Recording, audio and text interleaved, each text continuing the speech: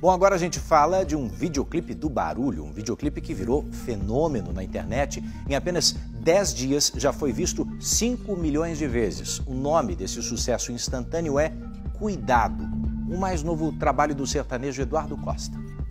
É, a música tem letras fortes e vem causando polêmica. O Eduardo até recebeu ameaças, sabia?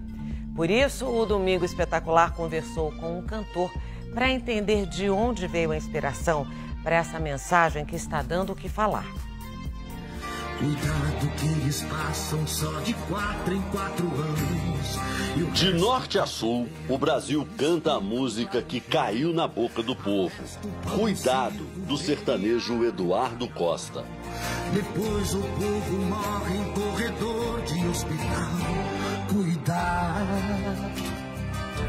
O sucesso nasceu depois de um momento triste vivido pelo artista.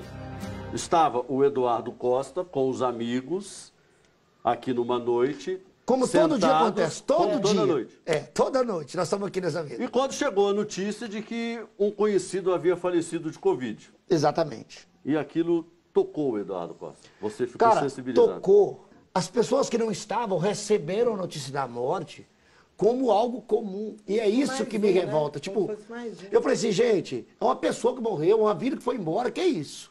Só que eu notei que não era um problema daqui de casa, é um problema de todo lugar. Tipo assim, tá tudo certo. As pessoas dão notícia de morte como quem dá notícia de vida. O amigo que estava com ele pegou o violão e a música simplesmente veio. Aí sentei nessa cadeira, o Eduardo sentou ali, o Eduardo colocou a mão assim, pegou a caneta e a coisa foi fluindo naturalmente. Quando, arrepio só de falar, quando a gente olhou, 8, 7, 8 minutos, a música já estava pronta e o mais importante, um olhou para o outro e falou assim: Fizemos? Não. Fomos usados para fazer isso. E eu falei assim, Joe, não, não, não tem a ver com a gente isso daqui. Isso aqui é muito mais espiritual do que a gente imagina. Todo o mérito de tudo que nós fizemos até hoje é de Deus.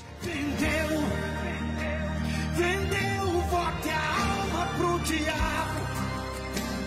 E agora não adianta ficar bravo. Foi a primeira vez que você gravou um clipe com a Bíblia na mão? Foi a primeira vez. Foi uma honra? Foi uma homenagem? Foi uma homenagem porque em qualquer lugar do mundo, em qualquer tipo de, de lugar em que a justiça tem que ser feita, se usa a Bíblia.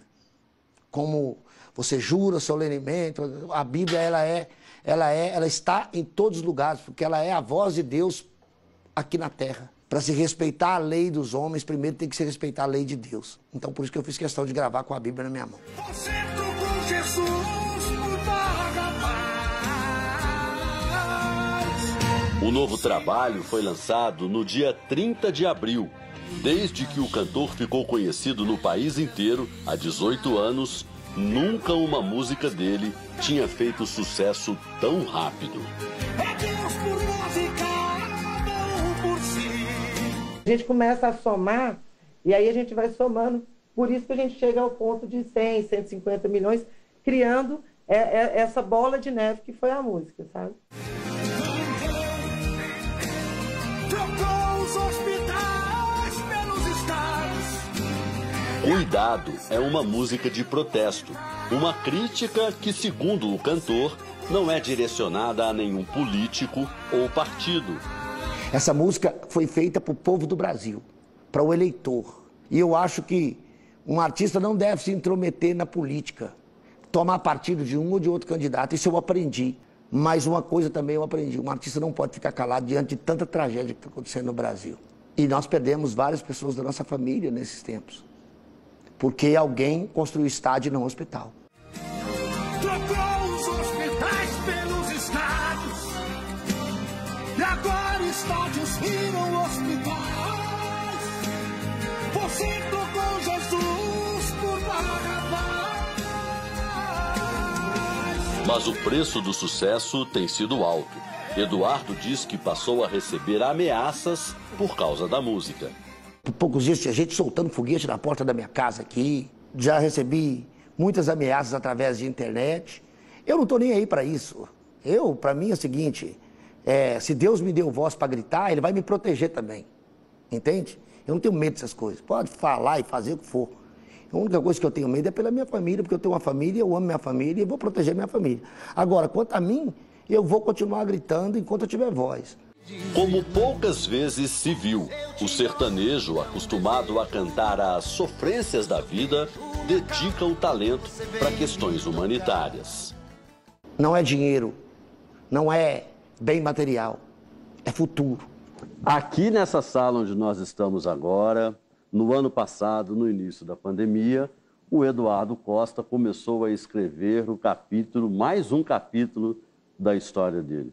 Aqui ele produziu o CD, o DVD, Quarentena. Deus, ela enxugou meu pranto, foi assim que aconteceu.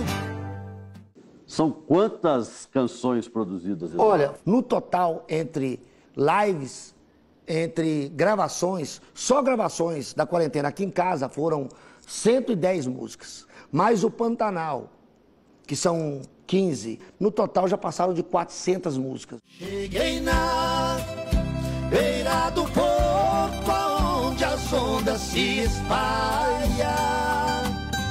E eu queria fazer um pedido para o Eduardo Costa para a gente terminar este nosso encontro com ele contemplando você, telespectador do Domingo Espetacular, com essa música tão linda aqui de forma acústica para gente.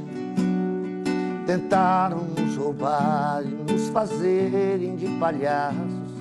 Depois que estão eleitos, vão morar em seus palácios. São carros importados, aviões e áreas nobres. Somente a fé em Deus é o que ainda resta para os pobres cuidar.